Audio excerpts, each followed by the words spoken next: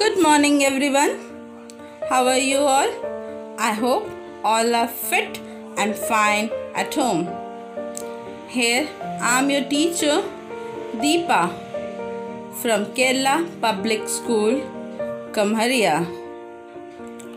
So, children, you know what we are going to do today?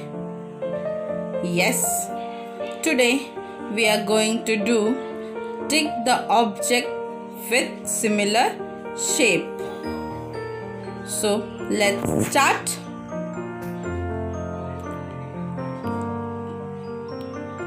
Draw a double line, then draw a margin line. Write date. Take the objects with similar shape.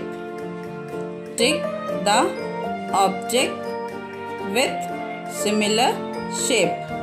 Now come down and see what shape is this. This is rectangle. Now R E C T A N G L E rectangle. Come down and see some shapes are given over here. Now see first one. This is clock. This is square in shape. Now this is watermelon. This is triangle in shape. This is mobile phone. This is rectangle in shape. So we will put tick in mobile. This is rectangle in shape. Come down and see what shape is this. This is square. Now say S Q U A R E square.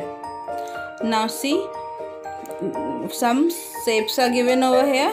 Now identify ball. This is circle in shape. This is gift box. This is square in shape.